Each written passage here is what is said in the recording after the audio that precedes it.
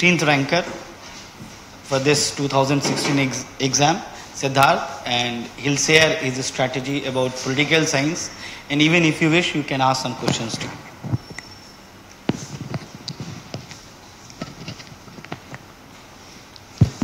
Good afternoon, everyone. Um, I think we should make this slightly interactive. Uh, uh, sir, how much time have they spent on political science? Have they just started or? They're planning to start. They've not yet started. Okay. Huh. Uh, so let me just tell you what I did. Uh, I'll just tell you what I did in my first attempt, and then uh, which I didn't clear, and I got only 183 for political science, which okay.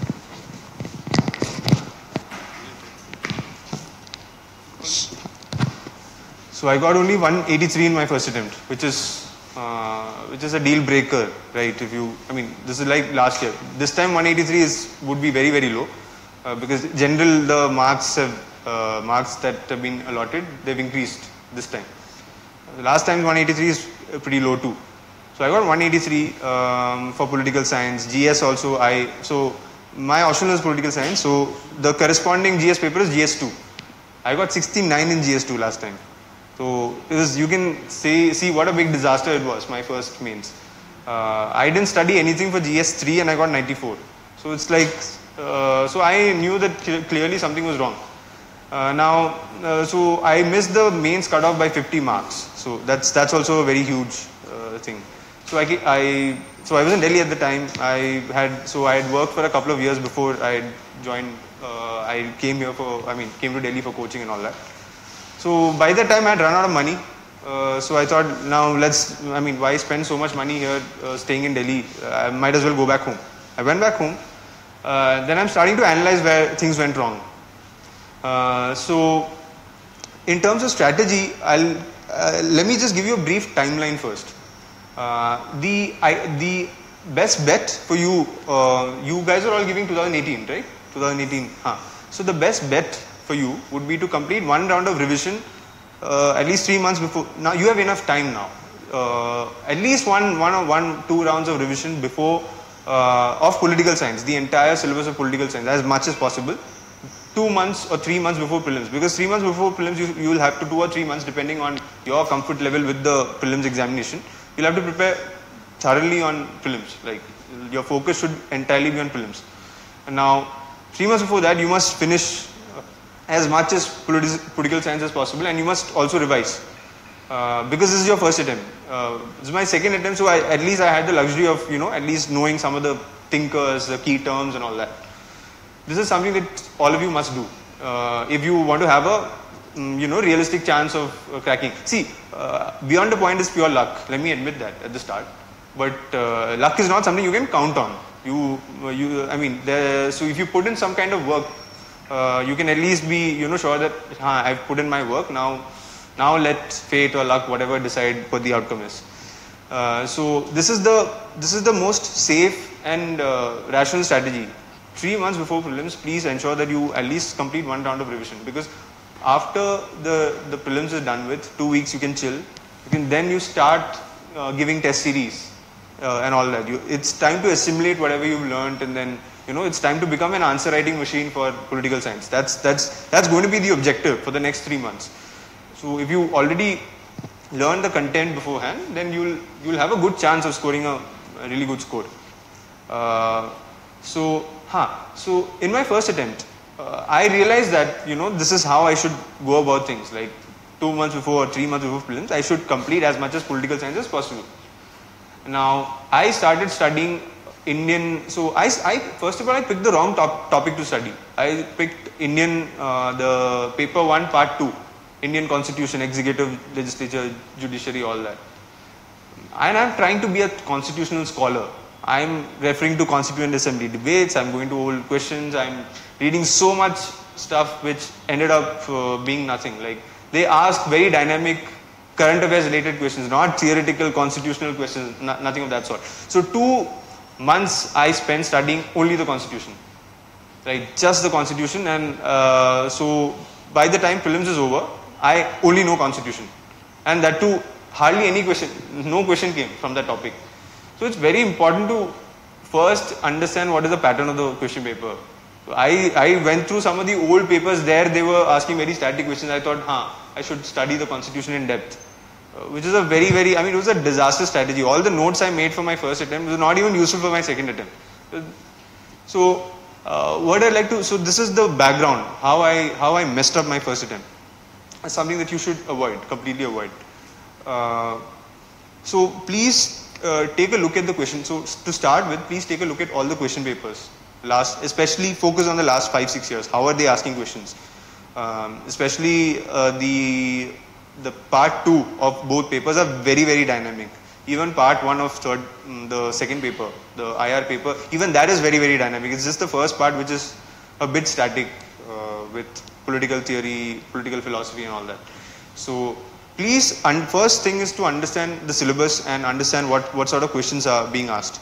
If you do these two things, you will you will you will actually feel comfortable when you start studying topics. You will know what to read, what not to read. This is the first thing.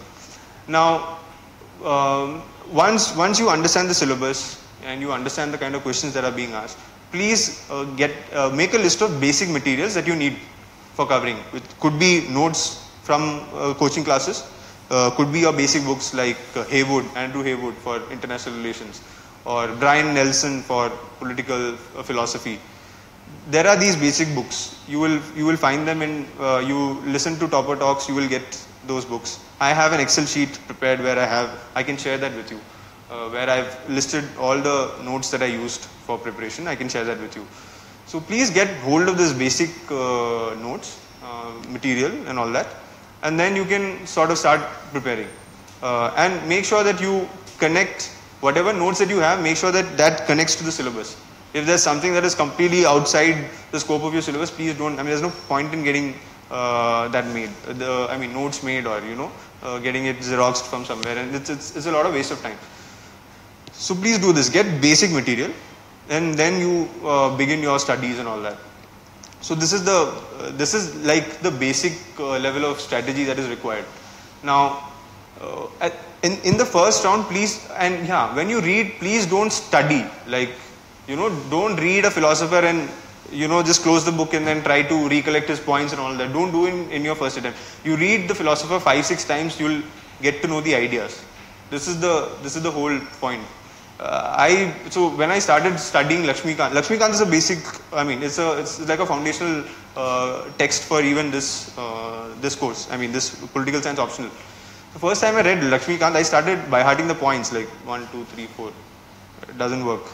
I mean, you can keep doing that n number of times. It doesn't work. You um, you you study one day, you by heart, then you come back to it two months later, then you by heart again. It doesn't work. Just keep reading Lakshmi Lakshmikant continuously, like once a week you read one chapter, then again. So you have to do it consistently and you have to do it throughout. Then only this recollection happens. Otherwise, huh. Um, so, so it's uh, it's a bit basic for them, right? So I think if, if you have some doubts, I think that would be a better way to go forward. Because I, how many of you are very comfortable with the syllabus? How many of you have read the? If you can Huh. about uh, what topics to be preferred for prepare, what kind of questions you should take up, these things. Okay, okay. Huh. Yeah. Uh, this paper requires to be us to be updated with current affairs. Yes, yes.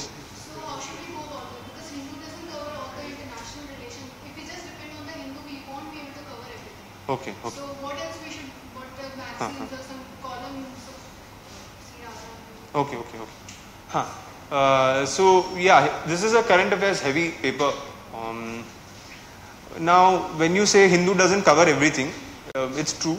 Uh, Hindu does not cover everything, but it is also not advisable to go and read the uh, the articles that come, come in all the think tanks. Like you have Observer Research Foundation, you have uh, IDSA, you have so many think tanks um, publishing. Carnegie has now, I mean, recent, I think 2015, since 2015, you have Carnegie India.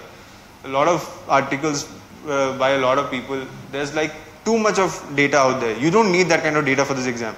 The idea is not to be a research scholar, even in IR paper. See, the whole point, see, please think of this paper as a paper where you have to score marks and not improve your knowledge. If you can take this kind of approach, I think this would be the best way forward. The, the objective always is to demolish, demolish a question in front of you. Not, I mean, I, I could be, so uh, in my first attempt, I used to have this feeling that, boss, I've, I've read so many things, I'm so knowledgeable, and any question comes, I can answer. That's not, that's not the case. You can gain, I mean, you can gain knowledge for self-actualization and all that, but your objective is, here is, your self-actualization here lies in scoring those 300 marks for political science. I mean, by last year's standards, 300 plus marks in political science. That should be your goal. For that, you need certain tools like so sir always keeps saying you have to uh, learn those technical terms so every scholar has certain technical terms like uh, veil of ignorance uh, uh, by john rawls so you have to ensure that for everything so when you take your classes here he will keep telling you these technical terms make sure you study those technical terms. That's that's very important. Huh, this is for even for dynamic part uh, you can use some some of the theories that you learn in your static portion. You can apply it here. But apply it in a very safe i think he will tell you what to do. Uh, you can't you're not you're not the you're not a scholar. You can't just take one theory and apply it in an answer giving a boss this applies. No that's not the way it works.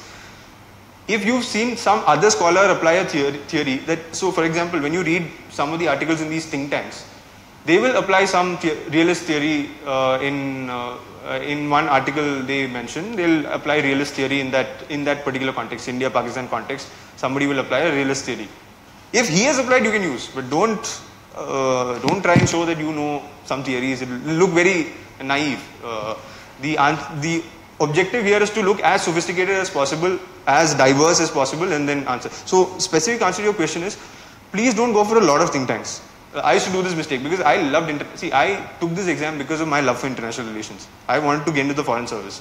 So it was a bit of a disadvantage for me because I couldn't just stop reading. So I will go to Carnegie uh, or some other website and I'll throughout the day I'll keep reading articles. I'll keep reading one one thread happens then there'll be links below that. Uh, do you want to read this? And then I click on that and I read that. I keep reading, I keep reading and I, I don't know, like one day is gone and uh, one day is gone. I and uh, uh, through through the course of my reading i'll make copious notes also. Like i'll uh, oh nice idea. Wow it's intellectually very stimulating. And i make a lot of notes. I can't come back to these notes. I have others other things to study the next day. It's just not possible.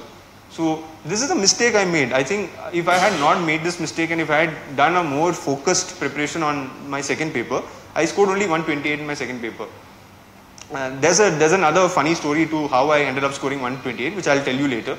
But uh, I scored only 128. Uh, one of the reasons I ended up scoring only 128, other than uh, another mess up that I did on the day of the exam, which I'll tell tell you later, was because I didn't do focus preparation on IR. Again, weakness was I loved IR. If you love a paper, please try and score good marks in that paper. Don't again the same thing that happened in the first attempt, gaining knowledge. This this mistake I made second attempt also. Uh, but on the balance, I don't think that's the reason I scored uh, very badly. The, there were some other reasons that happened on the day of the examination, which also affected my performance. Um, but yeah, please make sure that you follow one think tank. That's enough. Or for one region, you take one scholar or two scholars at max. Uh, America, I mean, you can take Rajamohan. He is like all pro-America. Like we should you should have great relationship with America and then take some somebody else who's a bit circumspect about relations with America. Uh, you can take someone like Shyam Saran who's a bit skeptical, I mean, foreign, former foreign secretary, bit bit skeptical, but still positive. Don't so uh, whichever country you're dealing with, please don't take extremes. Uh, extreme uh, viewpoints. When you read scholars, please don't take, take extreme viewpoints like nothing's going to work for this country. Uh, that is something that you can try this is this is what is recommended. But I used to take Bharat Karnad, who is a bit extreme. I used to quote him, uh, but huh, but uh, I don't think I uh, I lost marks because of that. I think those are the uh, so I, if when I quote uh, somebody like Bharat Karnad who's very extreme, I'll also quote someone like Nirupama, Rao who's like very sane, very nice, like uh, very very fe- feminist oriented worldview, which is peaceful and huh. So I take so I try to balance things instead of focusing on the extremes. Um, so yes, the thing is, please keep your resources as to a minimum as possible. Your objective is to score marks. So, I mean, fol- follow Carnegie or IDSA or I mean, IDSA would mean that you will get government's viewpoint. IDSA people don't write anything that uh, pisses off the government uh, substantially. So, uh, I think IDSA is a good thing to follow. But unfortunately, the problem with IDSA is, is very security oriented That is a problem with IDSA. They have a great focus on security. And uh, the focus on security with a combination of a deadly interest in security, then you keep on reading IDSA. Like from dawn to dusk, you can read IDSA. But it doesn't work. So please be emotionally a little detached from this paper. And uh, only think about marks. I know this is a very lame way to, I don't know, I mean, people say you should prepare in a very integrated way, the journey is important, all that. See, the only thing is marks, marks, marks, and marks. If you can think of, see, you, you read an article, just think what are your returns from this article. Will a question come from this particular topic? That is something that you should always think about. So that helped me. So uh, I took Bharat Karnad's name. So whenever I read international relations, current affairs, I'm always thinking, uh, will I get a question from this topic? This is one. Uh, so Pakistan was a very prominent. Uh, you know, Pakistan was very prominent in news last year. It was very likely that a question from Pakistan comes, right? So I thought, huh, what should I do if a question from Pakistan comes? So I had a list of scholars. I had like four approaches by one. Was, one was by Bharat Karnad, one was by one was Shashi Tharoor's approach, one was Nirupama Rao's very feminist, uh, you know, cultural civilizational ties sort of approach. Bharat Karnad is must go and get them. Like we'll we'll fight a Kautilyan Kuta Yuddha with uh, Pakistan. We'll make make a uh, you know covert forces attack uh, you should combine that with all that. So ha, I had four approaches. I wrote all four approaches and I described uh, all four. And I said, uh, and eventually I said, you know, we should use a combination of all four approaches. Ah, this, I mean, obviously I don't know, right? I'm not the expert. I can, I can just quote the experts and say that was this is what people said. Uh, so this is one another thing that uh, you should not do when you are writing IR paper. Try and not to sound like you are giving the solution. Like tell them uh, these are this is what the uh, these are what the scholars are saying and you think one of them is a reasonable approach. Don't make it sound like the others are bad and the other approaches are not non- uh, nonsense and this is the right approach. Try and make try and make sure that uh, a bit of humility comes across that you don't uh, because uh, a lot of times people who correct the papers are people who are like really really knowledgeable in international relations. They they're like okay what is this kid saying? Right uh, this is not going to. I'm some some some sometimes they are like so. So every scholar has his or her own um, you know area of expertise. Somebody is a realist. They might like your answer if you're saying you know you should go for only a security solution. But somebody who's a very liberal person would not like a purely security solution. They will be like, why aren't you trying other options? Why don't you economically in- integrate the two countries? Why don't you open up trades? Why don't you allow more people to people contact and all that? So Huh, so make sure that your uh, your approach is very reasonable. Huh, this is what. Um, in terms of, uh, uh, so yeah, in terms of predicting questions is very important. Whenever you read news articles, please ensure that you predict questions. And the only way you can reasonably predict questions is if you are fully thorough with the kind of questions that are being asked in UPSC. That's very important.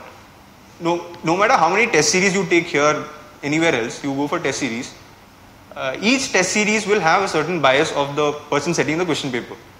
Uh, so sir will have a certain approach, somebody else will have another kind of approach to setting the question paper. However, sincerely they try to match UPSC's sort of uh, you know way of answering questions. It may still be different. You can't take that risk. I'm, I'm just telling you, you can't take that risk. So please go and see how UPSC is asking questions. And that too, they, they will not ask a question on set pattern that is also there. So please try and understand what are the possible ways you should think about this paper. That's the that I think is the main objective when you go back to question papers. What are the different kinds of questions? What are the different approaches you will have to make if you have to give answers? These are these are some of the things that uh, you have to be very very uh, extremely mindful about before before even uh, starting study starting to study. Right. Uh, now I'll just give you a brief on uh, paper one part A, paper 2 part, uh, paper 1 part B, etc. etc. Now on paper 1 part A, it's a, it's a very static paper. Here you have to ensure that you know all the technical terms, veil of ignorance, um, you know, pop, uh, general will of the people. So there are so many things that you will learn as you take start taking classes. You will learn a lot of lot of these technical terms. Now make sure you know all the technical terms just by heart. If you can't remember, just sit in ratta maro like you people say in Hindi. Like, uh, I mean, don't mind my bad accent, but huh, just just by heart those technical terms. One, if if if a scholar comes to, so you're not by hearting ideas, you're only by hearting technical terms. Ideas you uh, you develop it a bit more organically. Now, when a scholar comes to your mind, make sure that all the technical terms sort of pop up like a digital display here, like one, two, three, four, five, six. Make sure you can, I mean, do it however you want. You want to draw pictures of a scholar and, you know, take ideas. However you want to memorize it, memorize it, but please ensure that you know technical terms. That's like the most important thing. And I'll tell you, and this is a this is a message I got uh, by watching his classes. One of the uh, important messages that I got. So, in my first paper, uh, that's a paper I scored reasonably well. I scored 180, 164 in the first paper. There was this question on human essence, Marx's view on human essence or something like something like that. Now, human essence. So, if I had not known the importance of technical terms, I would have answered that question. Think, saying that, ah, I mean, something rel- related with human essence, I will write, I will connect it to something that Marx said, thinking that, okay, this could be what Marx meant as human essence, and I would have written an answer. First attempt, I would have definitely gone for that question, because I know Marx. I don't know human essence, that's a separate matter, but I know Marx, right? I can connect that with human essence, whatever. I know what human means, I know what essence means, so I will manufacture an answer. Similarly, there was a question on Rawls' uh, democratic equality. Huh. Democratic equality. I, I, I maybe I've read it somewhere, but I, I, do, I don't remember. Now I know most of the things that Rawls said, and I know that he's he is for justice, he is for equality, and all that. I can connect. But I knew that, boss, if I write this question, if I don't know exactly what he said about democratic equality, I'm I'm gone. So I didn't write both those questions. But I wrote Hannah Arendt. I knew I knew Hannah Arendt out and out. Like every technical term that she ever said, I, I, I knew. At least for the not ever said, but at least for the exam point of view, I knew I knew all the technical terms. Uh, I knew how to connect Arendt with Aristotle, blah blah blah, all, all that. I knew Arendt out and out. So I wrote I wrote about Arendt. I skipped these questions and I went for uh, the part two answers. So this is a call that you will have to. And in retrospect, I didn't. So last for 35 marks, I I had only 10 minutes to write last 35 marks. So out of those 35 marks, I would have probably got 10 to 15 marks, Uh, 10 marks maybe. So 154 I'm scoring out of 215. I did that because I chose those questions where I knew all the technical terms. This is something that you have to be very careful about. Please don't try to be the scholar. This, uh, that is the that is the one uh, safe bet that you can take. Again, let me tell you, all this uh, gyan that I'm giving you is based on assumptions. I don't know who corrected my answers. I don't know what they liked about my answers. Certainly, I know for a fact that it's not my handwriting. My handwriting is very bad. Other than my, I don't know what worked. I don't know what didn't work. So these are the assumptions that reasonable assumptions that I'm making. That uh, I didn't answer the questions where I didn't know technical terms, uh, even though I knew a lot about those scholars or that, those thinkers. But I went for those questions where I knew, huh, I knew the right ideas, I knew the right scholars. This is something that you will have to be very careful about. Uh, yeah, so technical terms is the most important thing in the first section. Again, it's it's very preliminary. That's why I'm. I don't think there's much point in uh, going into much deeper uh, content in the first paper. Now, paper one, part two. Huh, so I use basic co- coaching material, basic notes and things like that. Then Brian Nelson was uh, for thinkers. I use Brian Nelson. Uh, then I think this is enough. Uh, basically, this is enough. Uh, then you, then you will get the notes, right? Mm, this is more than enough. Uh, but uh, but I personally had used a lot more materials. I had used there was there was some. So, so basically, what I did was I answered all the previous year's questions that were that were asked from from time immemorial. Right. This is a static paper. So uh, there's this booklet. There's this booklet you will get topic wise question. I I answered all that. I, I didn't answer that like I didn't write write them down. I made notes on Evernote. I I'm a mm, I'm a laptop guy. I'm not a mm, you know I'm not much of a I don't anyway I can't read my own handwriting if I read read it for a second. I have no idea how they managed to give me so much marks. Uh, like I said, luck is also a factor in this paper. Uh, so I used to type everything down in Evernote. So first time I answer all these questions, my quality of answers are very low. I come back to it, I revise it. I, this is first time I didn't, first attempt I didn't have time to revise. So second time I, uh, so first time I'm revising it, I know the answer quality is not good. So I will take some content out. I try to, uh, I make notes upon those notes. So huh, so answering all the questions on the of the previous years and all that itself covers a lot of ground. Uh, that itself covers a lot of ground. But please make sure you are done with your basic syllabus before you try this. Otherwise, no, no. This is I didn't answer those questions for answer writing practice. I answered those questions for content. Ha, basically for points. Uh, so, ha, so through the course of that, I had to use a lot of other materials. These basic materials didn't satisfy me or my ego, whatever. Huh. So I had to, I diversified. I referred to a lot of, a lot of other materials, and huh. this level of depth of preparation is actually not necessary. You uh, again, like like I said, the objective is to score marks. So you please find the balance between how much time you have. So like I love spending time in front of the in, in my room. I didn't have any other distraction. When I was in when I was at home, my mother would not even disturb me for you know getting sub, subsidy from the market. Like, like, they'll just leave me alone. You sit in your room, do whatever you want. If you have this kind of a uh, you know um, you know atmosphere at home, you are not disturbed. You don't have friends. All my friends are doing very well. They're all uh, I like I said I finished engi- oh, I finished engineering like five years ago. So now all my friends are well settled. Everyone's doing. Uh, no one's no one's in Kerala anymore. I'm from Kerala. No one's in Kerala anymore. So I don't have that distraction also. I can just sit in front of uh, in my room and keep watching YouTube videos or just and I don't sleep also. I have a bad sleeping problem. I can't I can't sleep for more than four hours continuously. This is another issue that I have. So ultimately, I'm spending so much time in front of YouTube or in front of uh, the books. The studying is very less. Studying is six to eight hours. That's it. But then, huh, these extra readings, lot of documentaries, lot of videos, lot of Rajya Sabha TV. I mean, all the shows in Rajya Sabha TV. Huh, I used to spend a lot of time. So if you have a lot of time, you can invest in doing all this. But if you don't have time, if you are somebody who's little more sane, you want to have a balanced life, you want to go to the gym or do something like that, you want to meet friends, you want to watch one movie a day, you have that kind of schedule, then if, if that's, see, you ultimately you have to be happy when you prepare. You have to remain uh, in a, uh, in, you know, you have to be at ease with yourself. This is the most important thing because it's one year. I don't. So people right out of college may can still study like very well. Uh, I I went back to studies after three years, and second attempt it was like four years.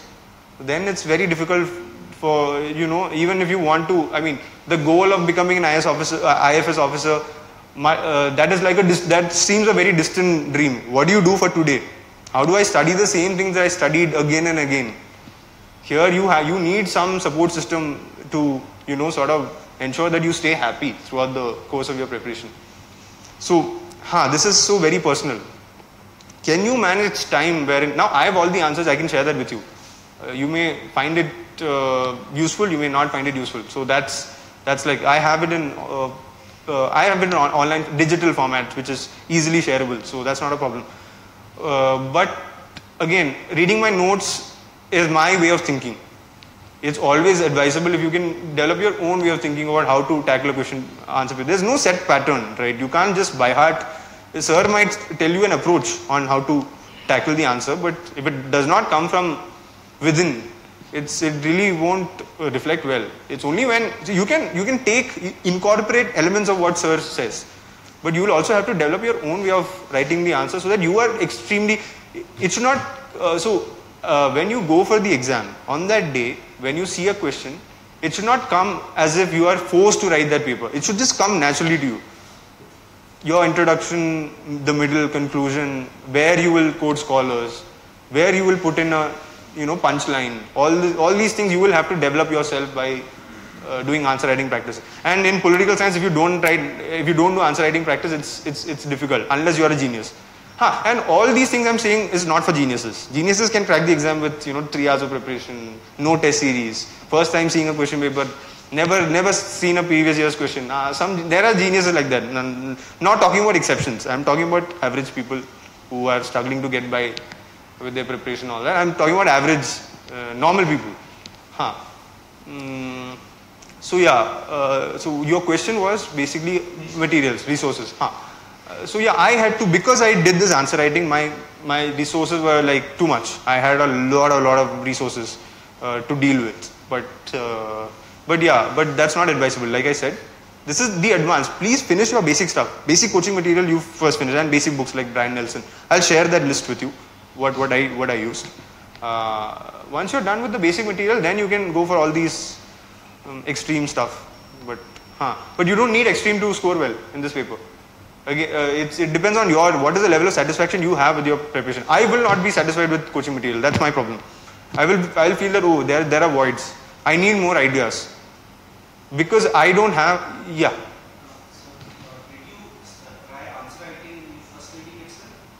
First reading First reading. Of, like you said. No no no no no no. So you tried in the second reading or uh. So uh, I tried all this answer writing uh, practice other than constitution. Constitution I did it in first attempt itself. Uh, in uh, okay, so by the time I was giving my second attempt, I fairly had an idea about what the syllabus was. This is a luxury that you guys don't have.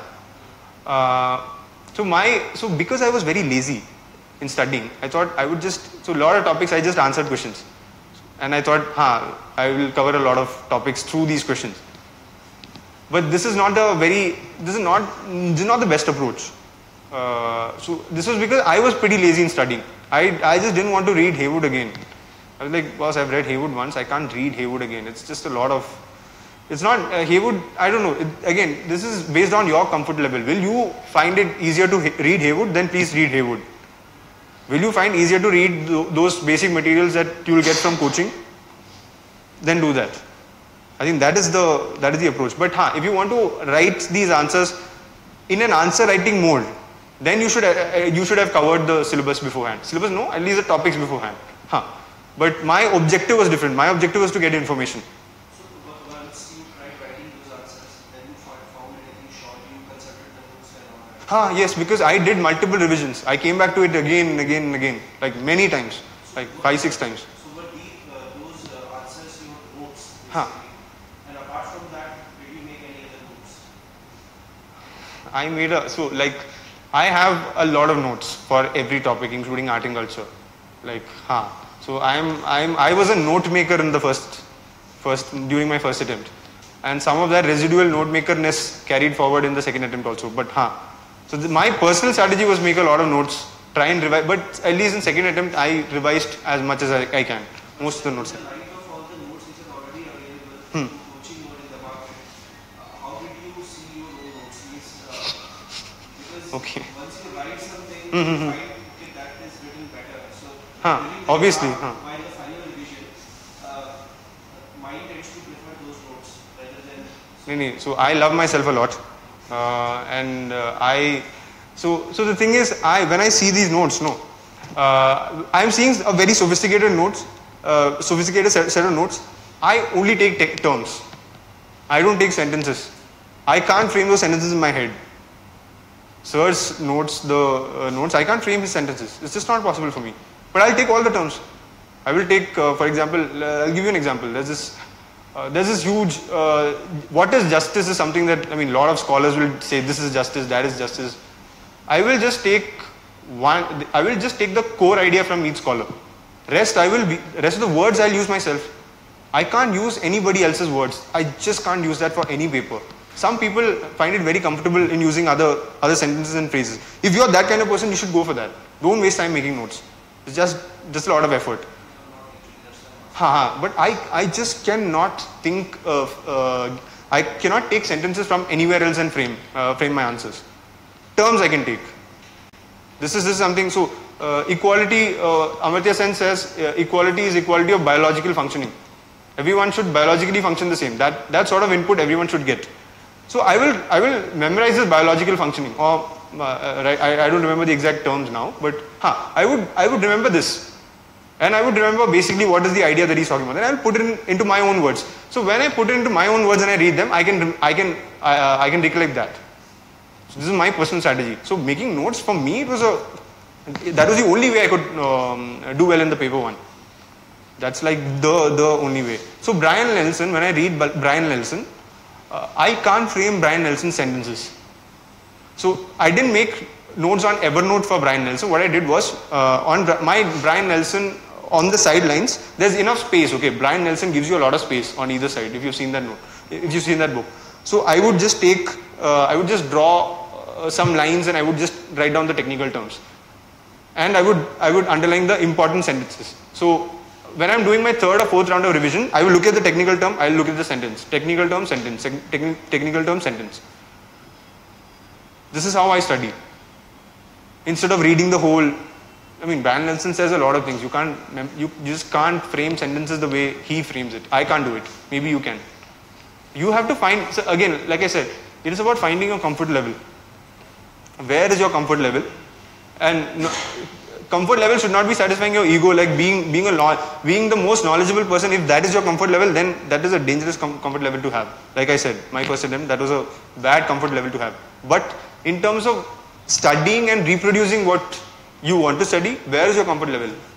You you like reading some notes and you uh, you know you don't even want to do an underline. If that's the way it works for you, then you should go ahead with that. But huh, please find your own way of doing this. That is my suggestion. I can I can maybe uh, I can show, I, have, I have the notes with me right now. I can I can show it to you uh, how I've uh, prepared these notes. But uh, and maybe once I reach home, I can also show you how from written notes. I I also use written notes. How I uh, framed. Uh, uh, I mean how I made the written more, notes more readable for me.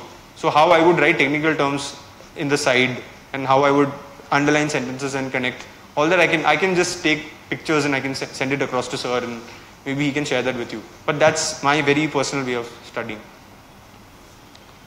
So now uh, I'll just move on to paper 1 part 2. Now paper 1 part 2 like I said my first year's experience was completely with constitution like constituent assembly debates man. It's like who who I mean no, somebody who's studying the constitution will study that constituent, constituent, assembly debate. Somebody who's writing Pratap Bhanu Mehta might once in a while look at constituent assembly debates, but maybe sir will. Uh, sir is an encyclopedia himself, so maybe he will. But otherwise, I mean, for please, uh, for us, it's really not required. So any article I see in the constitution, I try and go back to constituent assembly. How was how did this article come about? I did all this in my first attempt. Uh, it was completely worthless, except for one question that came in GS2 this year. So while I was trying to be a constitutional scholar in my first attempt, I used to, uh, like I said, I have a, an addiction for YouTube. So I am trying to learn about basic structure of the constitution. And I used to have a lot of debates with my close friends. I had three close, I mean, two close friends who were preparing alongside me. So some something happened and we, we were debating the basic structure of the constitution, right? So now I want to study everything and I want to beat them, right? That's my objective, not scoring marks for the exam. Misplaced priorities. Now I am studying everything about the basic structure. How how Kesavananda Bharati case was argued. Uh, what are the things that Nani Palkhivala said to sort of emotionally blackmail the judges, saying that boss, you how? Uh, so he did. He used to. I mean, you should uh, after the preparation is done and after you get your service allotment, one thing that you should do is uh, read what uh, uh, Nani Pal- need uh, read uh, Nani Palkhivala's case. What what did he tell the judges to tell them that there is a basic structure in the constitution which which didn't exist? How did he convince or how did he give that cue to the judges? It's a, it's a fascinating um, exchange with uh, with the judges. Uh, so I'm reading this and I'm trying to figure out more and more about the constitution. So I will just go, go on YouTube and I'll type good speech constitution, uh, Indian constitution.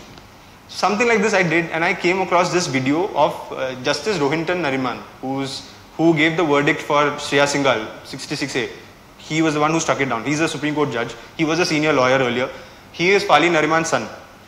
And uh, so there was an uh, there was a talk for 55 minutes or I think two part video on ninth schedule. This is just about ninth schedule, okay? I'm trying to be a scholar, right? And I don't care about the exam or I don't care about the marks. So I watched that video. I watched the part one, I watched part two, and I know what ninth schedule, why ninth schedule was incorporated. Um, uh, so why why was that amendment brought in? Uh, what what did judiciary not do in IR Coelho case? What what should the judiciary have done according to him, etc. etc. And look what happened in GS2 last year, IR Coelho case. Now this is uh, this is this is luck. I mean, this again luck, right? So I knew. So this was also there in Lakshmikant. By the way, if you read, you didn't, you didn't have to watch a, a one one one and a half hours video. 10, 10 minutes of Lakshmikant reading would have done. But it's very unlikely you, I, somebody like me picks up IR, IR Coelho from Lakshmikant. Lakshmikant, everything is there. Date from which it is applicable. It's from Kesavananda Bharati's uh, judgment that uh, the the clause for, I mean, the basic structure for 9th schedule that applies only from 1973. All this is there. Perfect information is there in uh, this thing, uh, Lakshmikant. But I knew why the why the judgment came, why, where, what. I knew a lot of. So I could uh, I could write a good answer. So from 69 I went to 109 this year. So like 40 marks. That's like a that's like a huge improvement. This is I think in GS uh, it is only in GS2 that I have slightly better marks. Everything else I have average. average. I mean like toppers have 135 for GS1 this year. Uh, so uh my distance to frontier in GS2 is a little less for me, but for other papers, huh. So so these things are so again luck, but these are things you can't rely on. Uh, so yeah, so I was trying to do all this in my first attempt, and I got nowhere, and I got 69 in GS2 also. This year, I decided to ensure that my, mm I mean, Lakshmi Kant will be my my girlfriend for the next one year. So I read Lakshmi, Lakshmi Kant at least, I don't know, 20, 30 times. I'm telling you, 20, 30 times I've, I've read Lak- Lakshmi Kant. Uh, some 15 times, 15 to 20 times maybe in the second attempt. I just kept reading Kant. Not all the, I mean, not the chapter on citizenship. That you don't have to read 20, 30 times. But huh, fundamental rights, that section I've read again and again and again. I've read that many, many times. So, huh, so combined for one first and second attempt, I would have read 20, 30 times. Lakshmi Kant. Uh, 20 times maybe in the second attempt. So Lakshmi Kant is going to be very very helpful because you will you will get the articles. You will get the names of the articles which you can quote. Even if you don't quote the names of the articles, it's not that you will not lose marks. Okay, you will lose marks. It's okay. Even if you don't quote, huh, if if they are asking about a very specific fundamental right and you don't know the article that relates to that fundamental right, yes. But then there are so many articles you can quote if you if you read La- Lakshmi Kant many many times it will not give you extra points, but your answer will look very clinical. Uh, like, oh, this, this boy or this girl means business. That's the kind of impression you will get if you quote articles correctly. And don't just keep quoting articles one, two, three. You will write in the first four lines. You will write so many articles. That's not the way. Make sure you insert the right things at the right place in your answer. Let it sound, let, let it look a bit natural that you're quoting the articles at the right place. So Lakshmi Kant helps. That's that's like the base for uh, paper two, part uh, sorry, paper one, part two. Then there is this book called Oxford Companion to Politics in India. Uh, that is something that I I read. Uh, uh, initially, I never read this in my first attempt. I had this book all along with me. Even in my attempt to be a scholar, I didn't read this book. But in my second attempt, when I read it, there are so many topics in the syllabus which are there as uh, you know essays in this book. For example, party system. Party system. There are at least two articles uh, in that uh, in that book where you will, where I actually understood how the party system fragmented. What are the views of different scholars on how the system fragmented? Uh, and this question came like last year party system came. Party system came both here and also in gs2 uh, so huh so this uh, sort of benefited me very much in so this from this book again you get a lot of technical terms. Many many but these are not technical terms like those of political philosophers. Uh, these are technical terms of good scholars. Maybe some some of the people who are correcting the correcting your copies may know these scholars may not know these scholars but at least you can sound sophisticated. But and when you write technical terms please also take the names of the scholars that you use. Just don't uh, put those technical terms as, as if they are your terms. That is again one danger. Uh, so make sure that huh, so and i also made a list of all technical terms all scholars i had made an excel sheet basically to get this done. Um, so huh, so there are so many things i uh, learned uh, from uh, oxford comparative Pol- politics things like patronage democracy I think it's Sanjeev Barua who said that, you know, some question on federalism, I will say uh, federation building is the right project for India, not nation building.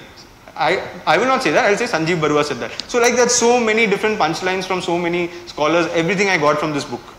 Uh, and please don't read the book uh, like from first page to last page in case you are planning to read the book. Only read the chapters which are relevant from, uh, from the syllabus. You will understand. It is very easy. If you take the syllabus and if you take the content page, sorry, the index page of the of uh, OPCI, you will know exactly which articles to read and which articles not to read.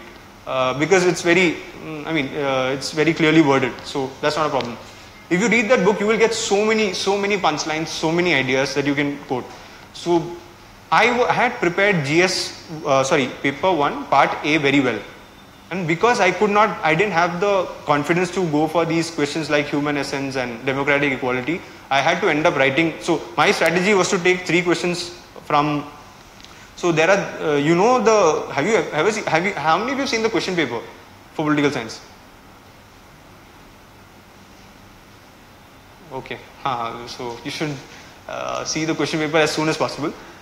In, in in there are two sections you have to answer, and there are um, there are uh, three plus so two plus one. Huh. There are um, there are two 50 mark questions that you will have to choose from one section, and one 50 mark question that you you can choose from another section. That's 150 marks. 100 marks is compulsory. From both sections, you have to write uh, write 50 50 marks each. The first question is compulsory. Then in from one of the sections you can choose two questions which contain 50 marks and then another, uh, another from the second section you can choose one my strategy was to go for two questions in uh, paper 1 part a so i will write for paper 1 part a 150 marks and 100 marks for paper 1 part b. Eventually i had to end up writing for 150 marks in paper 1 part b and not the other one because i didn't know the technical terms there. Here i used a lot of technical terms here. Whatever patronage democracy federation building this that a lot of stuff. And uh, that party system came i knew a lot of technical terms. Duverger's law how it see uh, at the end of the day even uh, political science i don't know if they expect a very correct answer from us. When they say how did party system uh, fragmented i don't think they expect us to tell them exactly how it broke uh, fragmented. Just just that you know you you tell them everything that people have said in a nutshell. You know he has said this he has said that he has uh, blah blah blah blah. You you give them that basic idea then uh, then then i think you're done. I, the the closer you go for correctness of your answers i think the farther you are you are from the marks. Because i don't know in political science there's a correct answer to any question I mean, everyone's perspective is very, very different. So, so don't worry about all this. Take, take these terms, take these punchlines, and use them in a reasonably intelligent way, so that you know they don't, they don't think you're naive or cocky. Both. You shouldn't look naive, or and you shouldn't look cocky. Both. So just you use it in a very safe manner. So that's that's my uh, suggestion for paper one, part B. But newspapers is everything for this for this section. Newspapers, whatever is happening around you, please connect that with the syllabus governor question was so i mean it was like out there last time. There. And i didn't and i didn't prepare that well. My my bad. Governor was out there. It was a sure question last time. I, I didn't prepare that. Big mistake that i made was i didn't uh, so like i said 35 marks i wrote in the last 10 minutes. If i had prepared that question i could have done it much better. I could have written the points 1 2 3 4 5 one of the one of the very bad mistakes i made. I was generally good at predicting questions last year. This is a question that i somehow missed so again, even for GS and for uh, your political science paper, you can predict questions. Governor was out there. It was a mistake if you didn't prepare for that question, like I did. Uh, but huh, it, it did not penalize me that much. Anyway, I had very little time to write that uh, question. So, huh. Uh, so reconnecting the um, the newspaper events with the syllabus is very important so that you can predict questions. So that's about uh, one and two. Now paper two uh, is the IR, IR paper. Paper 2 part 1. Uh, paper 2 is the IR paper. Part 1 is theory. Now unlike the theory in paper 1 which is very static, here it's a little more, little, it gives you a little more flexibility. From, even from the, uh, even in the sta- static part there are a lot of things uh, which are of cu- uh, current importance. WTO, uh, you know, um, north-south relationship, etc. So they can ask you any question it uh, from the paper although you can expect some theories com- on comparative politics and all that some standard theories are expected. But again please make sure that uh, newspaper reading is sharp because they might pick up something from the newspaper and ask uh, on because and some of the topics are repeated in uh, part A and part B. NAM is there both ways. NAM is there India's India's NAM policy and NAM in general. NAM is non-aligned movement for people who may not know uh, so huh. so this is this is something very important. So please ensure that and here again the key is technical terms. Here the technical terms are much more because you're, you're dealing with scholars not philosophers. They are philosophers uh, the ideas when they are taught they are taught in a very logical way. You can see from the start it, it, it's like a flow. But here it's just you have to cram yourself with technical terms. And try and stay one step ahead of your uh, you know competitors. Like so when when you talk about balance of power uh, uh, sorry, uh, when you talk about something like security dilemma, so there is uh, there is a there is a concept of security dilemma of classical realist, so, sorry, neo realist, neoclassical realist. Um so you will learn few scholars, important scholars like Mearsheimer. John Mearsheimer has said something about security dilemma. Uh, Kenneth Waltz has said something about security dilemma. Everybody will write these two scholars. Like uh, they know. Somebody might go to a neoclassical scholar, and they will stop there. You should go beyond that, in my opinion, so that you get that one extra mark. So I had done proper research on security dilemma. I had I got some other important scholars then I also got uh, then you should also you can also try and write uh, write something about insecurity insecurity dilemma which is applicable not to first world countries uh, I mean you can also say that oh all this is based on first world countries you should also look beyond that there is a third world uh, security predicament blah blah blah just that is only one line don't again deviate from what is being asked just tell them that there are other things also this is my approach I tried to uh, I, I would attack the question, but I will also add some extra content. Uh, I will try and add scholars which have advanced the idea beyond what is immediately asked. How security dilemma is not just Waltz and Mear- Mearsheimer. There are many other scholars who've taken security, who have broken down security dilemma into parts and have analyzed it. So, huh, try and do this. But again, here is where you have to ta- take help from sir or whoever is guiding you uh, to ensure that you don't spend much time uh, doing all this. I spent a lot of time doing this, uh, which could, which again, if I had cut down, if I had rationalized my time distribution in paper two, I could have been in a much more, much better situation in getting uh, more than 128. Um, so, huh. But again, I spent a lot of time studying all this, which uh, didn't give me the kind of returns that I should have got. Uh, that is about paper 2 part 1 again technical terms a little bit of current affairs uh, but huh, but keep your eyes and ears open and please ensure that you cover the breadth of the syllabus last year they asked so many questions arms disarmament uh, last year they've just gone out and stretched uh, stretched us completely they've asked from everything that can come from the syllabus so if you think, uh, because the syllabus is so vast, generally we have a tenden- tendency to study few important things that are there in Heywood or that are there in that second book, Baylis and Smith. We leave out so many other things that are there in the syllabus. So please make sure that Heywood and Baylis and Smith is not enough.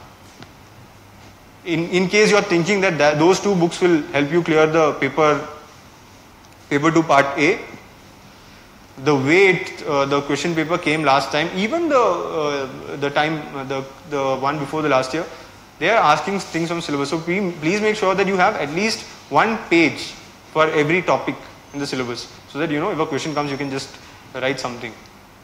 Uh, then you can always use scholars. Uh, you will uh, all these ideas will be discussed by scholars as they go. But please make sure you have dedicated content. One page is enough. Don't you don't have to again try and be a an expert on every topic. Mm, uh, so, huh. so when you read Baylis Smith, this is a, there is an issue here. You will try you. Those are very scholarly articles. Unlike Heywood, who gives you a basic idea, ba- Smith is written by um, some of the best scholars in, in, in that particular field. So again, it's a lot of reading. So please convert Baylis and Smith into a very capsule form, and revise only that. Study only that. So just just by heart, if you can, just those few ideas instead of wasting a lot of time. This is a mistake that I made. That is my suggestion to you in paper 2 part A. Now paper 2 part B is the most chilled out section. Uh, it's that thing that you that she was talking about, Hindu. Uh, ah, there are these determinants of foreign policy, that, that initial uh, static part that you may have to cover. This time a question came directly from that. But otherwise it's a manageable thing. It's largely current affairs based. But when you read current affairs based, please make sure that you read and re, you uh, make notes in a way that you can answer those questions. That is the that is the most important thing. Your notes should be in a way that you can answer the question. I, I start reading um, articles from ORF or Carnegie. I spend like hours and hours. I will make so so much notes. Then when I come back to that, I'm like, okay, how do I now make sense of these notes? How do I shorten them again? So this is a problem that you may face. Uh, you can avoid that if you keep your resources to minimum. There's this Oxford, uh, um, I think, handbook on Indian foreign policy. I had covered, I had, I had uh, studied some some topics from there that you can use. But again, Um, again, this is this is a bit advanced. Uh, so nobody asks questions like explain the dynamics of India-US relationship. They will ask it in a specific context, like they asked last year. You know, we have not managed. I, I I'm forgetting the question. They will ask you very specific question. In that backdrop, you'll have to answer. So it, there's no point in studying all the history of what in, we did with US from 1947 to.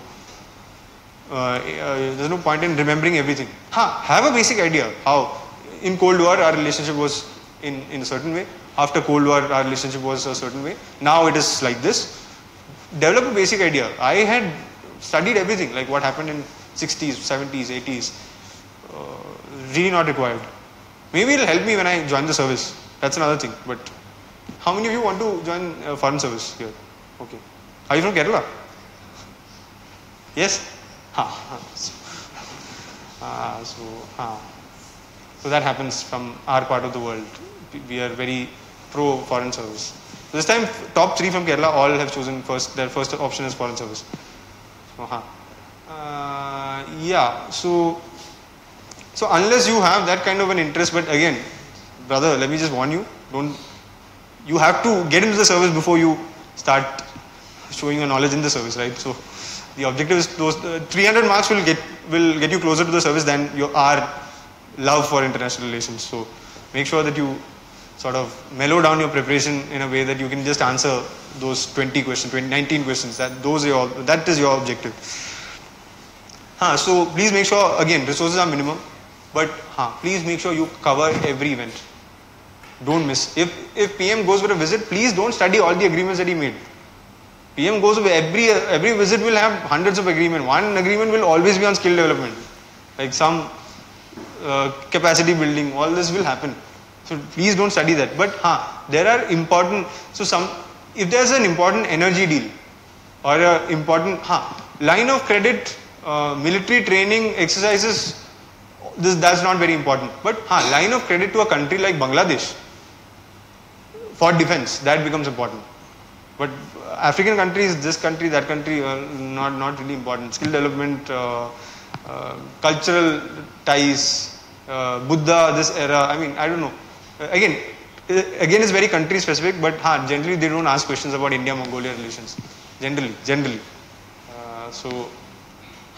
So leave out these basic things. But if there's an important energy deal, if if there is something new that uh, India is doing with a particular country, then please uh, mm, please ensure that you you learn what what that new thing is that's the that's the important thing but if you keep on huh, then one thing that helps us have a rough idea what the trade uh, trade figures between at least important countries what does india russia trade because you can actually use that uh, to say that okay we are not doing well in trade if you don't do well in trade there's very little you can do security will not drive your relationship for example, in Russia's case, we are we are diversifying.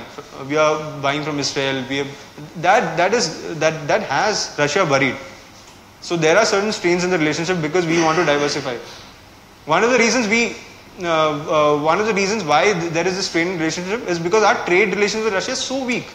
We don't have proper banking channels. There are a lot of issues uh, for our trade with Russia. The way Russian companies operate is very, I mean, it's completely different from the way, sorry, uh, that uh, our companies operate here in India. So there the system is not that transparent. Competitive bidding and all, they're like, boss, we can't do. Putin generally assigns companies for us, we, we can't do this. So there are these genuine issues uh, for our economic relations with Russia to improve. On the other hand, companies in Germany or companies in US have different issues with us. They don't, they, they don't have a problem in terms of uh, how they can go for competitive bidding, all that is fine. But they have other issues. They have issues with our red tape. So that's why with Germany we have an agreement where we'll give them fast track clearance. So we have provisions like that. What so huh, so make sure the economic relation is something that you should always highlight. Because that is the one thing that will always drive countries close. Uh, one of the reasons that is being often quoted by scholars is that the economic interdependence between China and United States is so much that war is, I mean, uh, you can't think of a possible war. That, that is the one. So liberal scholars say, uh, will say that, you know, ah, uh, so Mearsheimer says that China's rise will not be peaceful. China cannot rise peacefully. That's what John Mearsheimer says. That if China tries to be a hegemon, uh, US will not uh, tolerate uh, peer competitors, something bad will happen in South China Sea or whatever. But others will say that no, economic interdependence is so huge that you know it's just not possible. And they'll say, look at what Donald Trump is doing. Donald Trump said that boss, we will take China out from here. I mean, island building is bad. This, that. What, what is he doing now? He's trying to cut deals with with, uh, with China. So, huh, economic relations between countries is very, very important. Even if you're not a uh, not a liberal, you don't believe in economic interdependence. That's that's fine. But it's a fact. Uh, it's something that you can always put put across. Is what I'm saying. Maybe you think uh, realism is what is is how the world the way the world works. But huh, but make sure you know what is the trade relationship. What is the volume of trade. What is the volume of trade? I mean, India's volume of trade with Russia is not much. Sometimes it's even lower than the trade relationship we, we have with Iran in some years. Sometimes even half of it, no? Half, half, of the trade we've had with Iran. Just imagine. Our, supposed to be our, uh, I mean, every kid in India knows who India's best friend is, according to Prime Minister Modi, right? That's what he said when he went to, he also said that to, one, one old friend is better than two new friends. And you know exactly who, who the two new friends are, right? Uh, so, huh. Uh, despite, in spite of all this, we are trading only half of what we are trading with Iran in many years. Why? Why is it so? So that is where there are no. Ah, so recently, Shyam Saran uh, wrote an article saying that people. So the especially the left-leaning uh, scholars are like so mad that we are going closer to US. We are neglecting Russia. So that is why Russia is going to Afghanistan and uh, you know cutting deals with Taliban. Russia is you know Russia is not taking our security concerns into all, all that. So huh, uh, people are so concerned. I think Shyam Saran wrote a very reasonable article just few days back in the Hindu saying that there are no real drivers in India-Russia relationship, unlike the case with the United States. So many, we are connected with the United States at so many levels. Societally, I mean, forget everything else, people to people, we love the United States, right? Everybody wants to go to United yeah, So half, half the people who will not crack this exam will be like, let's, let's go to United States for a master's. Right? We love the United States, man. We wear clothes uh, built, uh, you know, manufactured by brand, manufactured in China, obviously, or I mean, clothes India or Bangladesh, obviously. But uh, huh, these are American brands. Nike is an American brand, right? So, huh, United States is so much part of our lives. I mean, do you think of Russian vodka so much? I mean, maybe some some people do, but huh, but other than vodka, I mean, do you ever think about Russia? How many times do you think about Russia a day? Every every time you see an iPhone, you think about the United States. That's the that's the difference. Every time you see a computer, you're thinking about the United States, man. Everything that is so. This whole uh, you need drivers in your relationship. That is something that you can actually focus on when you when you take country to country relationship. When you read the Oxford Handbook on Indian Foreign Policy, it's good. You read that, but try and find what are the drivers in the relationship. Try and think for yourself and find out. See, this is not a this is this is not an exercise that will take forever. There are only few countries that are important. P5, neighborhood, Middle East, and Middle East not. I mean, Jordan is not important in the Middle East. Saudi Arabia is, UAE is. Saudi Arabia and UAE. I mean, they're very very important, and they're going to be very very important because of the crisis that is happening. So? What what should India stand be on the Qatar crisis? There's so many people Qatar. There's so many people. We we want all all of them, right? We, we are one country where, uh, which wants, it is, it is the Pentagon and India that actually wants everyone together. Pentagon because they, they want to supply arms to everyone. We, we, we have to get our remittances from everywhere. And my Kerala brother would know the, the pain of, uh, of how important uh, Gulf is to the survival of my state. Like uh, Kerala economy is driven by uh, remittances largely. We don't have industry. Um, so every third member of a family is in, in the Gulf, in Kerala. Uh, every three households, one one person will be in the Gulf in Kerala. So, huh. so it's very important for uh, our local economy, not just in Kerala. Even I mean now people from all over India is going. Uh, it, it is also good if you take a South Asian perspective. It's not just India. In our brother countries, Pakistan and Bangladesh, they, they're also affected. They will show, oh my God, such a nice person. Things about Pakistan in a nice way. Maybe you'll score a brownie point. I don't know again, I, I quoted Pakistan in a very nice way for our uh, union. There is this question on union territories. Huh, so uh, ah, this I'll come to this later. So, huh, so please try and find the drivers of relationship. Don't. Uh, there's no point in reading the history and knowing everything that happened, every arms deal that happened. So first attempt, there was this question on uh, Indo-US relationship over the years or something like that. Huh, it was it was a question over the years.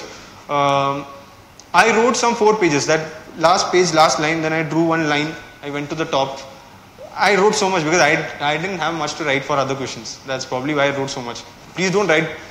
Uh, if there are four pages, uh, if there are four pages, write only three or three and a half pages. Don't fill space. You have to write all the questions. That's the that's very. If you prepared well, you will have content for all questions. So I went to such level of specifics that sometime in 1990s, um, the people, some militants who had attacked in Kashmir had arms built in United States. There's this problem that happened.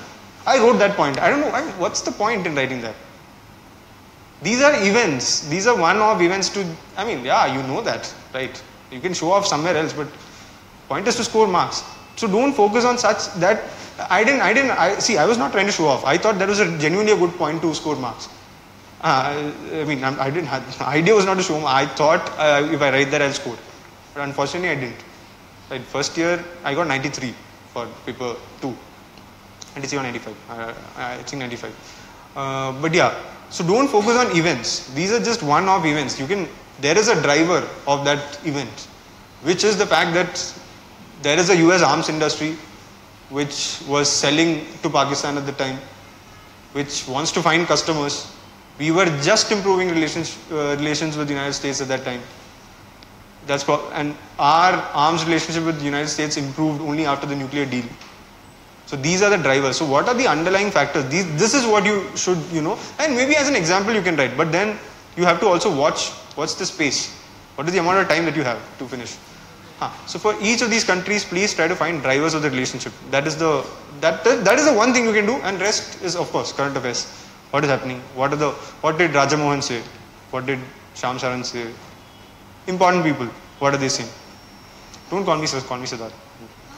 Call me Sidharth. Don't call me sir. Ha ha. I did. I did use MEA for some things.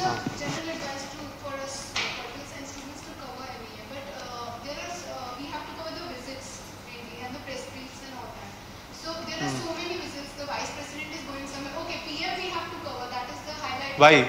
Why should you cover all the press briefings? Nee, but what do you get out of that? Other than That's why I'm asking. Ha, ha. Uh, So I don't, I don't. So I, so if you ask me, if so, imagine you are telling me. Imagine I didn't know about this, right? I didn't know that there's something called MEA's website, and you are telling me this new information. I'm like, boss, I missed something great in my life. I'll go back and read. I'll start reading all the press briefs because of my interest. Like I said, my, unfo- uh, you know, too much of interest in IR. I would read, read all this. How how can you write answers? after the visit, your uh, current affairs summary that, that you get from market or from coaching center, whatever, they'll have all the agreements signed in that uh, visit. Why, why, why do you need to read all this? No point. No point. Maybe you're having lunch. You're having uh, when you're having lunch and you have a you are a YouTube addict like me. You can just put on that YouTube video where there will there are weekly press briefings. You can watch that maybe if you want. If you if you if you're that badly, if you can't do this, you can't you won't get sleep. Do this. What is the whole point in reading? I don't. I've never understood the point of reading this. If uh, somebody has a more informed opinion about this, maybe you should talk to them. But huh, this is something I I didn't do because I found there's one more thing. A lot of visits, no? The content is the same. They'll just change here and there. X, Y, Z. If you've read, if you read these briefings, a lot of things that, that come in MEA, content is the same for a lot of things. It's just that they change words here and there. Prime Minister, Vice President. So, ah, if you if there is an agreement on skill development, even everything will be the same, except that India India's uh, organization will be the same. There, that organization will be different. Everything will be same. Content, everything will be same. Sorry, sorry. So, huh. Uh, so please don't. My my uh, suggestion to you is please don't waste time. But if somebody else has a has a more informed opinion on this, maybe you can take this because I didn't I didn't spend so much time uh, looking at ME. In yeah. Huh, I used to make notes from Hindu. For GS, it didn't it was it basically became useless because at the end of the day I went back to doing what he did, like uh, what he said initially. I found other notes better than mine because in GS you you uh, in GS it's all about facts. When from Hindu when I make my notes for GS, I don't gather all the all the relevant facts from for all the different topics. Ah, for political science I can make relevant notes. So I have some, uh, heard somebody saying that before main you should have some topics, like 50 topics per paper, which, which your Ah. write-up should be ready for some points. Ah, if you can do that, it's great. But I, I didn't. I, I, I- I just couldn't do that, man. I, no, no, I, I never. So again, so like I said, this is if, if this is a GS specific question. Um, see, the point is you have to find where your comfort is. Like for example, let me give you my example of Yojana, reading Yojana. So first time I read Yojana was something on FDI. So I took one month to read that one uh, one Yojana. Next there was a Yojana on federalism. So I read because it was federalism. I forced myself to read it. I read all the. I tried reading from first article to last article. I read that with so much emotional, uh, this thing difficulty. Then I realized that Yojana is not my thing. I will never read a Yojana again. I never read a Yojana again, ever. It's like first. So January 2015, I started preparing. I read one Yojana. This is, uh, I think, this federalism Yojana was February 2015. I read that also never, ne- I, I, did, I, I promised myself I will clear this exam if I have to, but I'm not reading a Yojana or a Kurukshetra ever again. I'll get this, I'll get this knowledge from Hindu. If I don't, it's okay. I'm not going to reproduce the entire Yojana in my answers anyway. And I can't read so much. I mean, so many lines in Yojana, man. Like, same thing they're saying again and again. So much policy stuff. Not my thing. Now, there is a friend of mine. She she absolutely loves reading Yojana. Like, she can't sleep without reading Yojana. That kind of person. If you're that person, please read Yojana.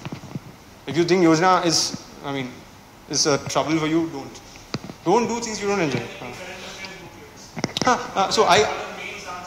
Huh. Huh, so I used to do this. My I used to rely on current affairs book, booklets, not not Yojana. I, I I can't I can't read. Huh. Huh, that I did, but the problem was my notes became so huge, and it became so unstructured. I found current affairs the booklets that you get. I found them much more logical and structured, and they they uh, they they write pros and cons. It's it's very structured, no, and they give give it. So, huh, I found that very useful. So I I ended up wasting so much time making uh, cu- current affairs notes for GS. I couldn't revise anything. So, in case you're making notes, please make, make them briefly. Make them in a way that you can come back and revise. If you make notes, you can't revise. It's as good as not making notes. So, I, I mean, it's okay. You can. I mean, don't. uh, It's you take any current affairs book. It's okay. Everything is just the same. I don't. I mean, it's not really nice to mention the. Ha ha ha. Take any any coaching center, any note. Ah, and one more thing. Imagine you have a uh, have the notes from one coaching center, any coaching center, here, there, anywhere. Somebody comes and tells you, boss, this is, this is not good. Go for something else. That's just awesome. Somebody tells you this, right? Then you are like, oh, boss, what have you, what have, I have to get that.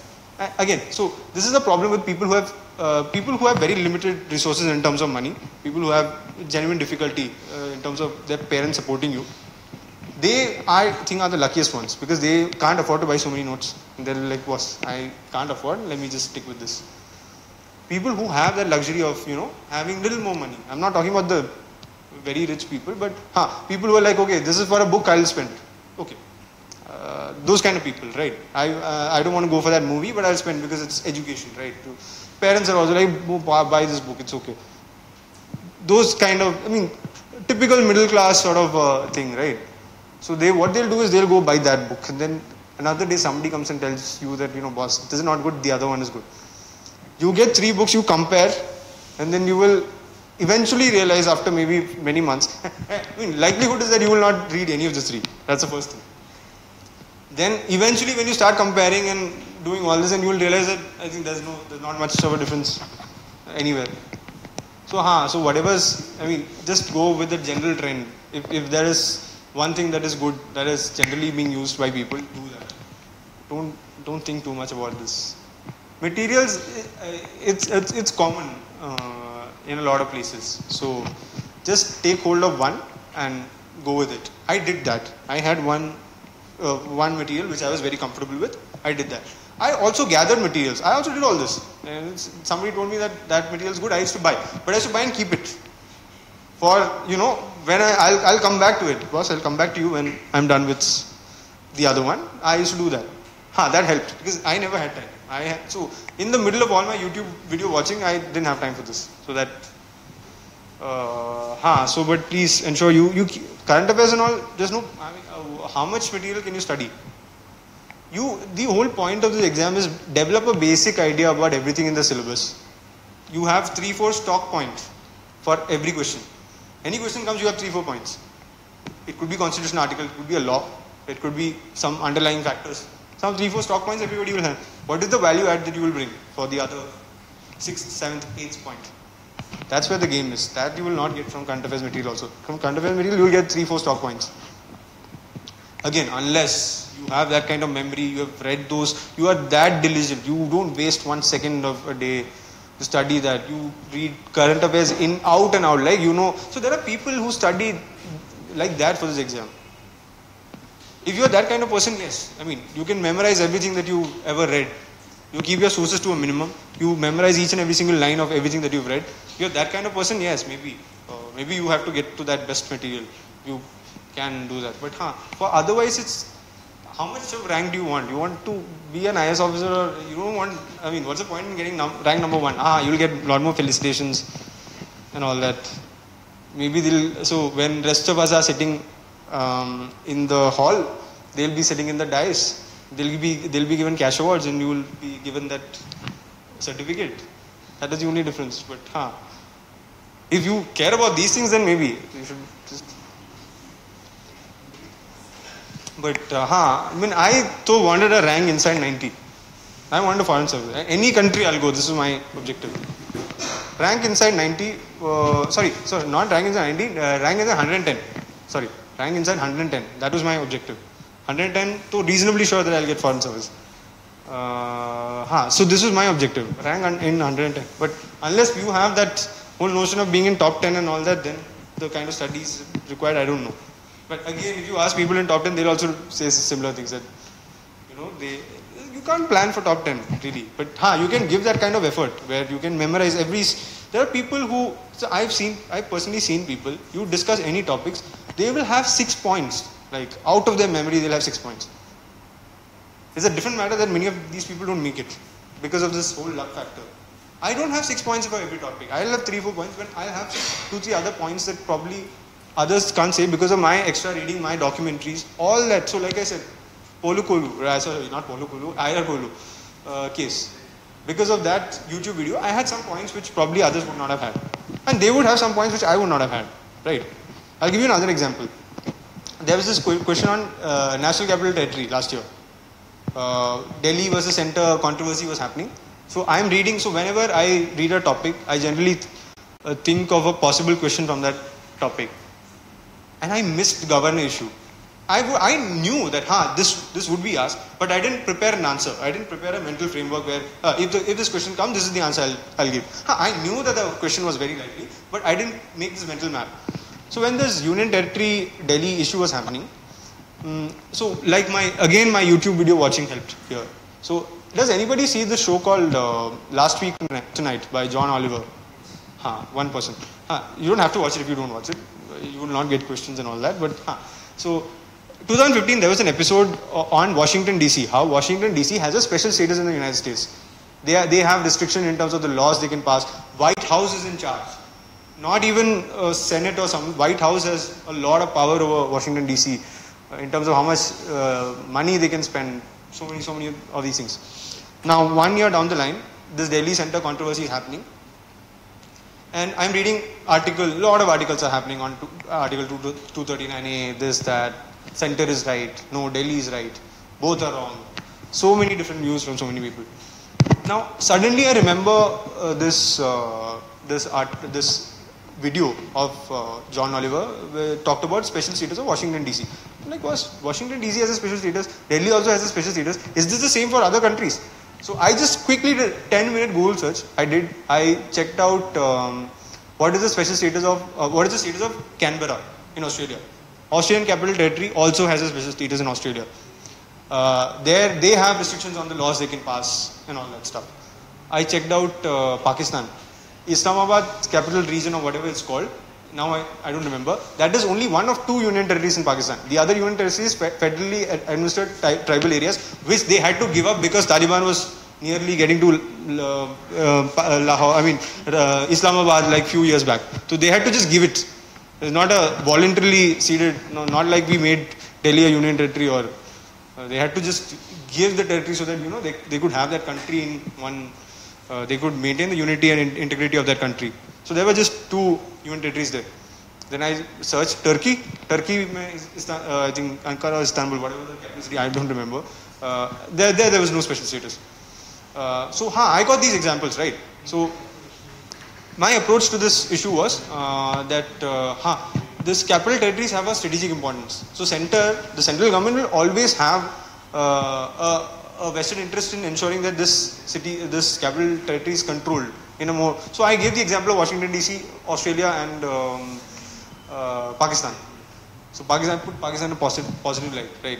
My, I'm, I'm good at ethics, GS4 also, brotherhood and all that stuff. And this, this, I mean, on, but huh, I gave this example because I could connect. So I'm connect. So I'm generally connecting whatever I watch on YouTube or whatever I read on uh, extra reading.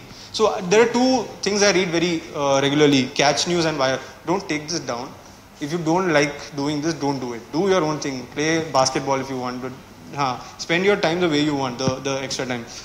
So in Catch News, there was this article on nuclear power. Our power targets for uh, the Paris Accord, we've given power targets. Nuclear is some 15 GB or, uh, uh, uh, gigawatt or something like that. I don't remember the stats now. I had by hearted. This is also an article I read in 2015 when the Paris Accord happened. Just immediately after the Paris Accord, this article came. I read that. Now, uh, I think one or two months before the exam, uh, I'm looking at uh, uh, looking at Paris Accord. I'm studying environment-related stuff. Suddenly remembered that this, there's this article on nuclear power. I went back to that and I read that article again. Basically, that article says in the next 15 years, we plan to add uh, um, uh, enough power, which is more than what the rest of the world combined added in the last 15 years. So apparently this is very unrealistic. Anyway, nuclear industry uh, to bring up a nuclear power plant is very controversial. It takes a lot of time. There could be protests. The, the gist of the article was uh, that uh, it is unrealistic. This year the question that came was what is the uh, in GS3? The, I think it was GS3. There's a question. India's renewable energy targets. How, how do you think they'll achieve them? I give this example. So I'm always always connecting whatever I'm reading. Documentary I'm connecting. YouTube video I'm connecting this. So it's like, you know, your one or two senses are finally opening up after long time of, you're always connecting things that you read. This is, I think this is the, this is the thing that helped me. So every question I had one or two brownie points like this everywhere, every, every single place. For example, there's this question on uh, Gandhi versus, um, Gandhi was, sorry, Subhash, uh, what is, in GS1 there was this question, Gandhi versus Subhash Chandra Bose, is it?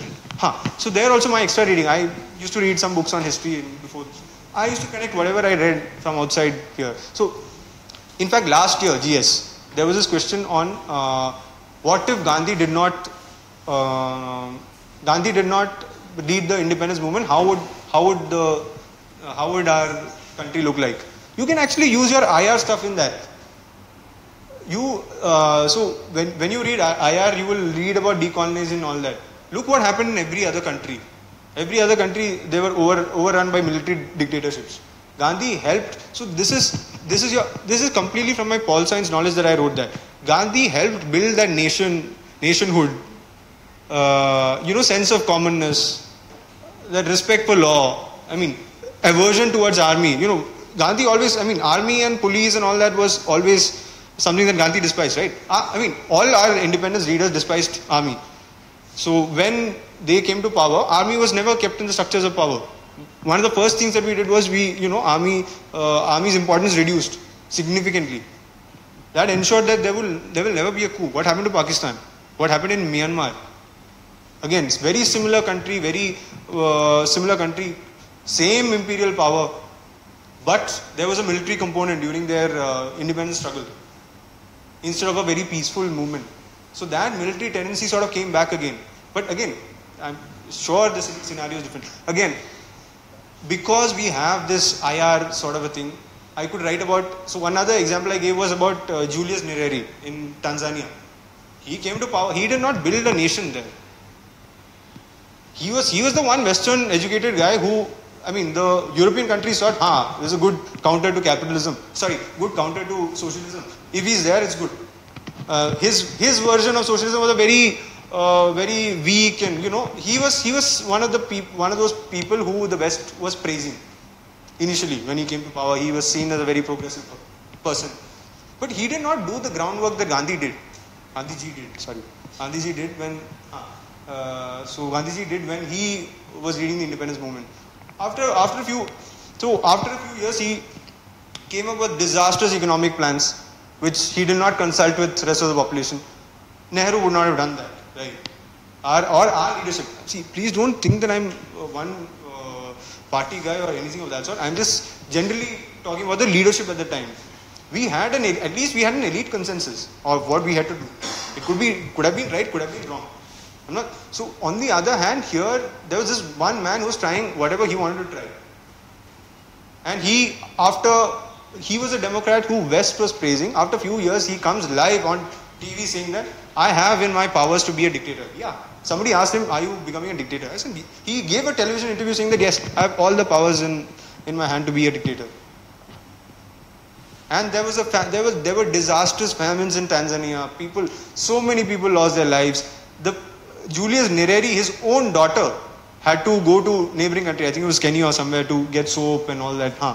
His own daughter had to had to go and live in camps and all that stuff. Huh. So it was a disaster. What happened in India? We also not like we did great after independence, but we we survived as a nation. We had reasonable economic growth. So, huh, so these are the sort of brownie points that I could always come up with every question. But I can't come up with stock points like people. So that is what you have to figure out. What what is your strength?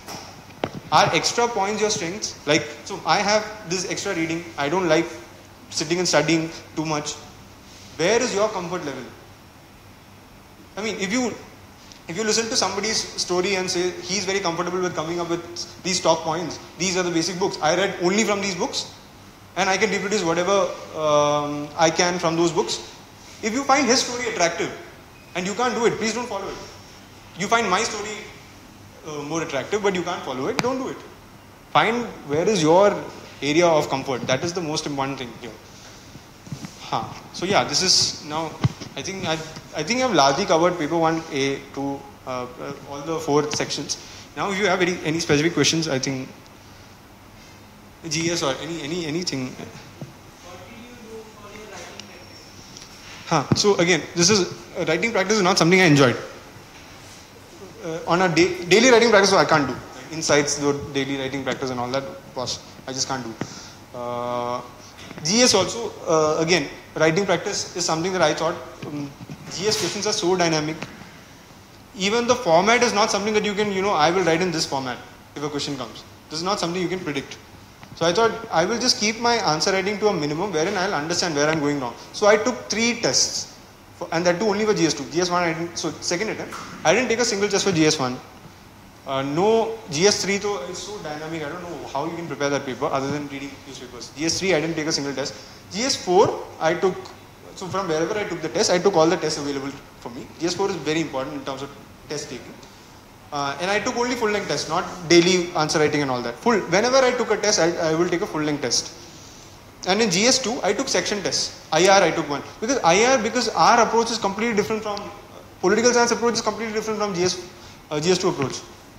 If you write like you write answers in political science, they are like, boss, what is this guy saying? This guy's, you will probably end up getting much, like I did, uh, 69. Even if you get 69, you should consider yourself lucky. If you write like John Mearsheimer said, who, John Mears, who is John Mearsheimer?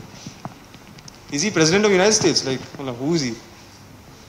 So, huh, don't even think of scholars when you write. So, when you write your GS2 paper, no, just forget that, you know, you are a political science guy and you know scholars and all that.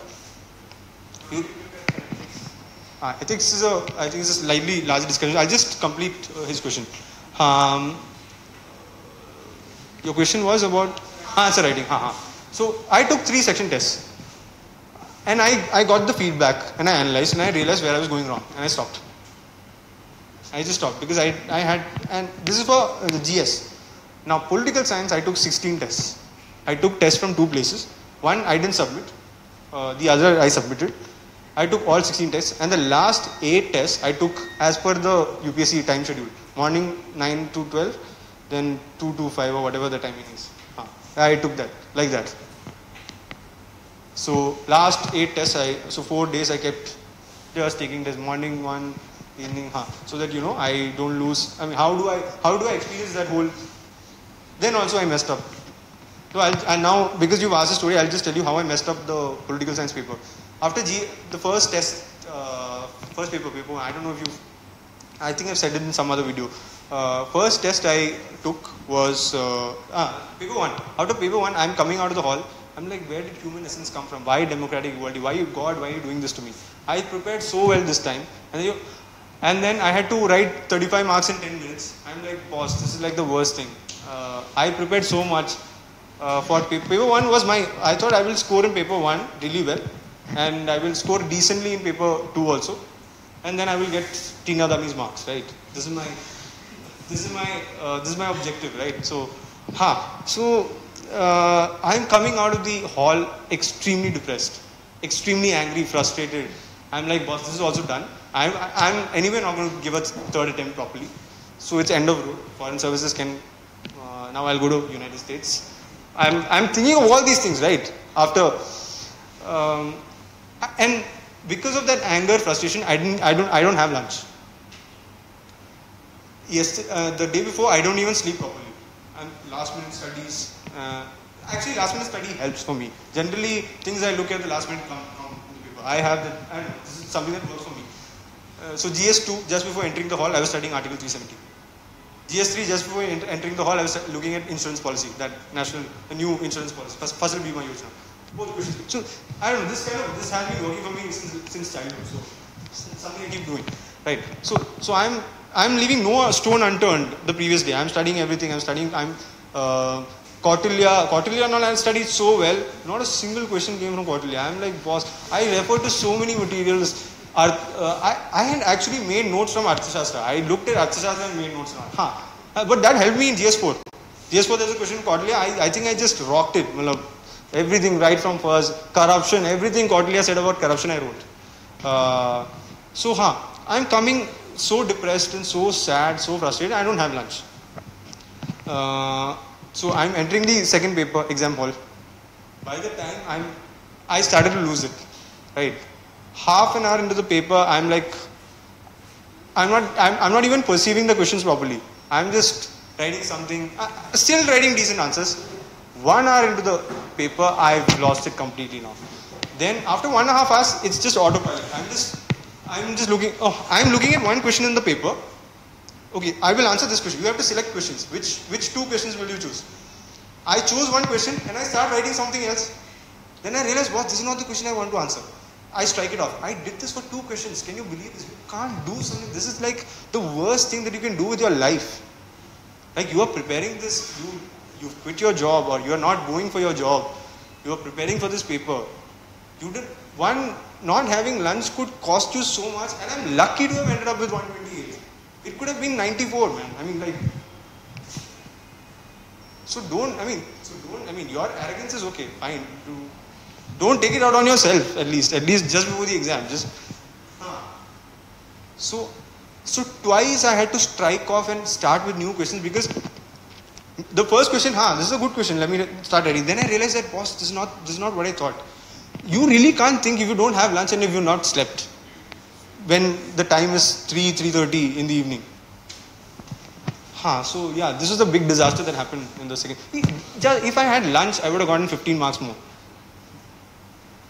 Only if I had lunch, 15 marks more, easily 15 marks more, easily.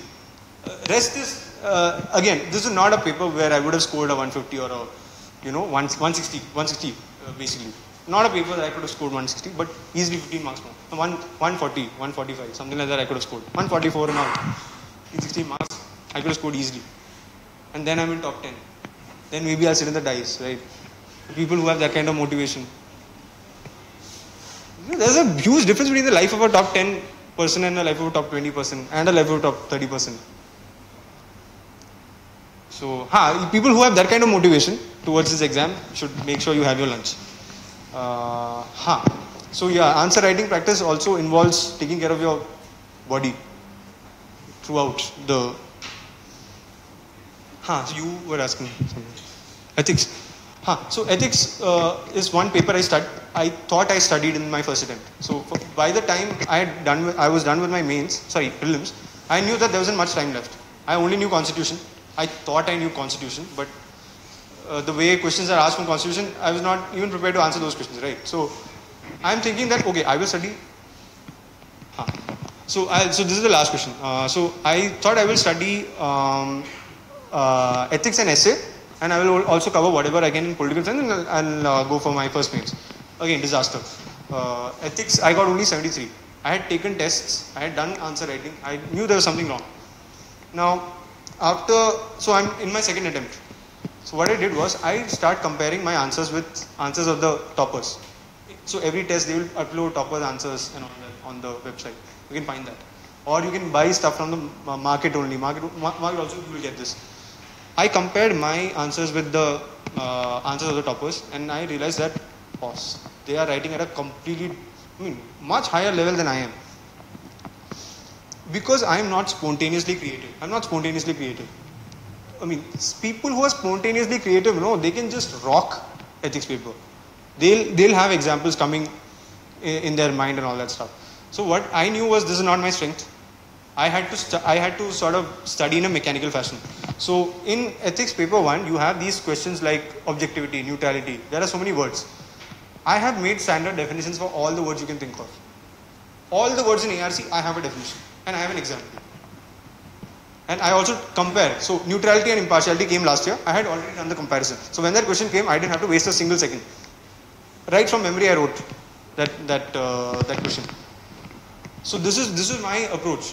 Even in case studies, I had solved so many case studies. I had taken ideas from so many toppers. I had copied so many ideas. So any case study, I know this is the approach. This is the example.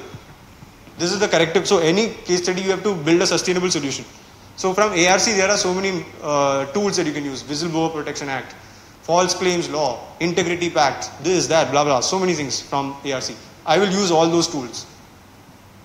So examples, approaches, tools from ARC, I will use all that in an, in, in an appropriate way for every case study or that. So I have all these things memorized.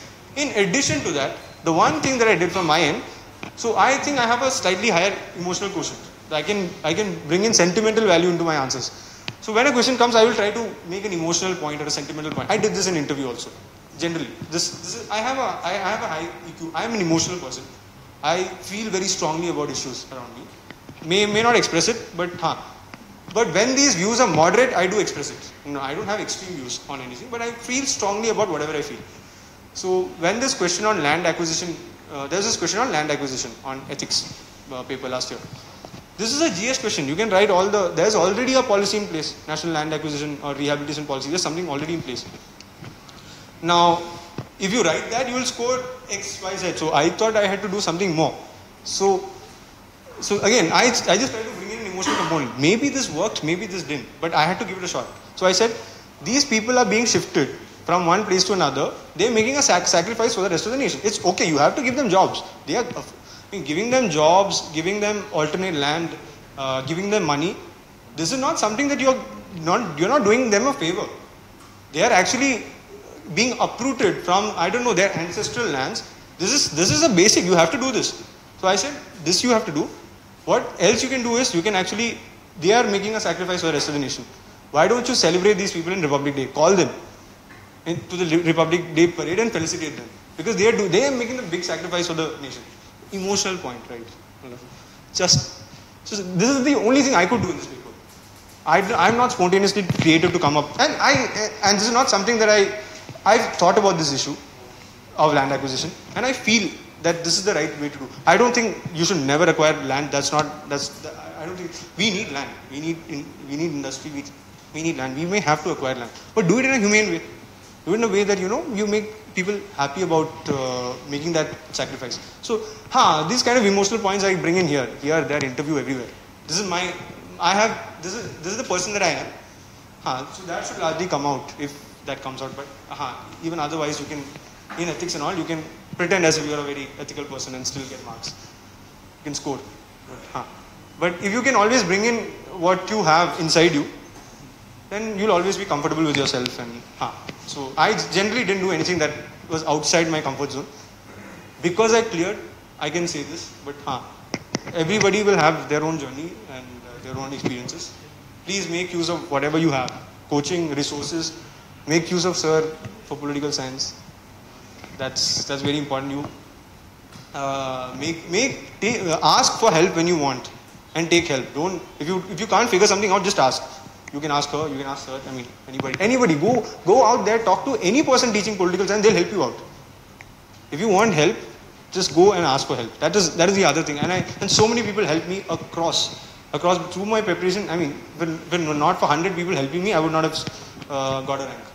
So huh, so that's it. I think we've already run out of time. Maybe the section session was useful for you. Maybe it wasn't. Uh, I can. I'll give you my ID, uh, email ID. You can mail me if you have any concerns. You can write. Ah.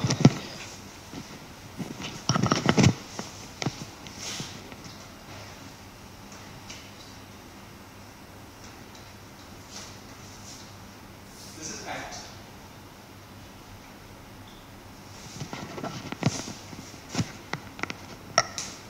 At least for the next three months, I will respond.